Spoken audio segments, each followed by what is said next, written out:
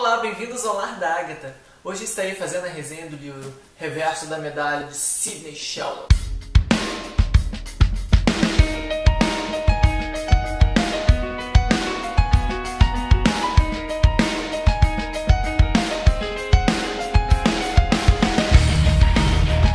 Aí o Reverso da Medalha você vai acompanhar quatro gerações da família Blackwell. Na verdade se inicia com o nome de Jamie McGregor, que é, é, o, é o principal, assim, o, o, pai da família, digamos assim, a pessoa que inicia, porque a, a família é conhecida por ser extremamente poderosa e imponente. E o pai, o Jamie, ele se muda para a África para poder tentar vencer na vida, porque ele não tem, assim, a família dele é extremamente pobre, não tem rumo, e ele larga a família toda, larga a mãe e vai para lá. Quando ele chega lá, ele vai pro. Ele fica, porque ele ficou sabendo de histórias de minas de ouro e tudo, de diamantes, na verdade minas de diamantes, então ele vai lá tentar a vida assim. Começa na desgraça, realmente na desgraça completa. Se você tem assim, assim, aquele apego por personagens e sofre junto, vai sofrer horrores no início desse livro. É o que é uma boa assim, referência, de, digamos, uma analogia a, a, pessoa que busca muito a fama, busca muito se suceder financeiramente, busca muito essa mudança, aquele sonho de mudar de vida, de criar aquela, aquela, aquela sei lá, aquele império todo. E isso se trata o início desse livro, a, a trajetória do Jane. E ele consegue tudo isso. Ele consegue, conquista e monta o um império. Então o império está erguido. Quando o império está erguido, ele passa para a protagonista do livro todo, que é a Kate Blackwell. A filha dele se casa com David Blackwell e assume o sobrenome, e aí passa a ser a família Blackwell daqui para frente. E a Kate é a protagonista desse livro. O Cine Sheldon é conhecido por ter muitas protagonistas femininas e elas são extremamente fortes. Elas têm inúmeros defeitos e qualidades, então elas não são assim é, bobinhas ou então unilaterais assim na personalidade, ou é toda boazinha, ou então ela é só malvada. Não, ela, ela é um pouco de tudo. Ela é bem verdadeira nesse sentido. Então a Kate ela é extremamente perigosa, ela é extremamente inteligente, eficaz e ao mesmo tempo ela tem vários defeitos. Ela acaba soando egoísta, fazendo inúmeras escolhas egoístas, ela põe sempre o império dela acima de tudo e aí ela acaba criando os problemas dela.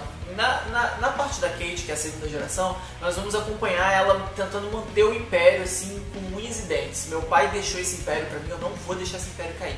Eu vou segurar, eu vou levantar ele, na verdade eu vou erguer ele ainda mais. Então, essa é a, é a gana dela no, no, na segunda parte do livro, que eu acredito representar bastante isso de, assim, de manter mesmo de um certo status e, e aquela promessa familiar, aquela coisa de carregar o nome, ela mantém tudo isso muito bem.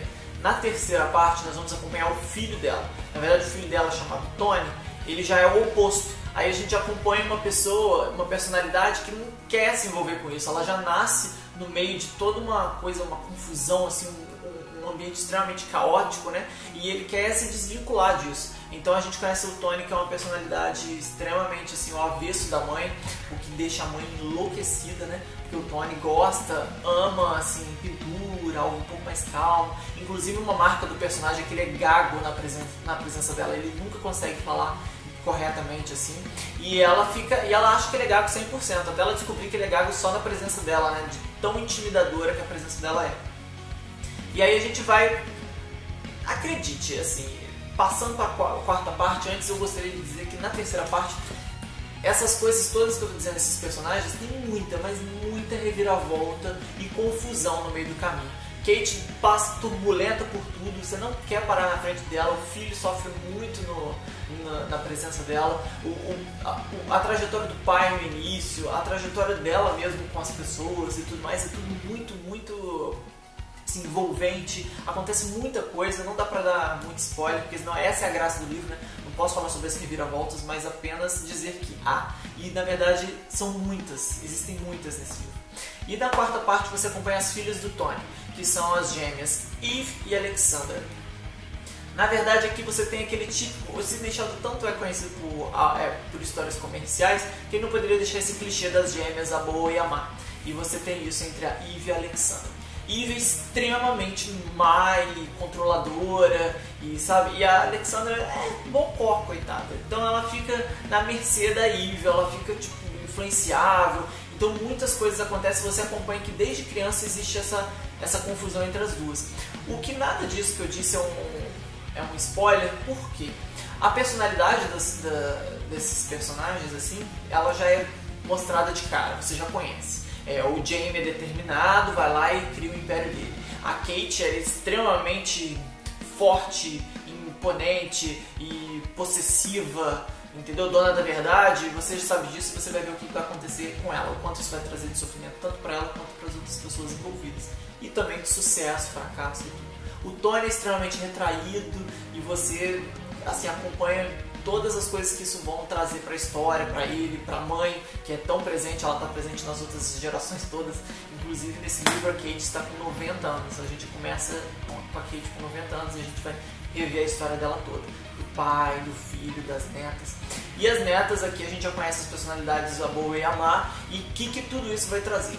A quarta parte, que é a quarta geração, das netas é a minha parte preferida é, em questão de trama, assim, de, de barraco mesmo, caso de família e arranca-rabo. Tem muito, muito, muito mesmo. Se toda hora você vai ficar. E, e, você acaba ficando surpreso. Você pensa que não, ah, já toda vez acontece de certa forma, eu acho que vai ser assim, e você vai se surpreendendo com o desenvolvimento da história. E tem muito arranca-rabo no final, bem novelesco mesmo. Já o começo é, é uma parte mais intensa, assim, acho que mostra justamente aquela aquelas pessoas assim bem sofridas que tem que fazer de tudo para conseguir pão para sobreviver. E isso é o Jamie no início para construir esse império. E essa parte é muito emocionante. Me deixou muito assim ah, acho que assim, você fica meio pensando na vida assim né? Ah, minhas, minhas coisas que eu tenho materialismo.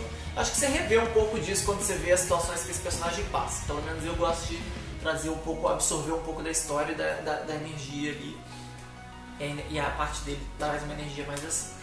E, enfim, o livro é dividido realmente em quatro partes, é, ele é bem grande, mas ele é bem fluido. Eu espero que tenha te inspirado a ler esse livro, a conhecer Sidney Sheldon, ele é bem novelesco mesmo e vale super a pena, porque é entretenimento na certa. Tem vários outros livros dele aqui que eu já li, que eu vou fazer resenha em breve.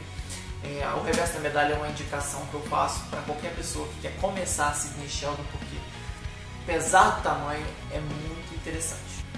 Então, essa foi a minha resenha para o livro Reverso da Medalha de Sidney Sheldon. Espero que você tenha curtido o vídeo, dá aí um like, por favor, compartilhe ele com seus amigos, vamos trocar ideias. Caso você já tenha lido esse livro, comente as suas opiniões a respeito. Caso você ainda não tenha lido, espero ter te inspirado a conhecer tanto o autor quanto a obra ou qualquer outra coisa de Sidney Sheldon, porque apesar de eu não ter lido todos os livros dele, tudo que eu li eu amei. Então fica aí a dica, espero que vocês tenham gostado. Se inscreva no canal. Um beijo e até a próxima. Muito obrigada.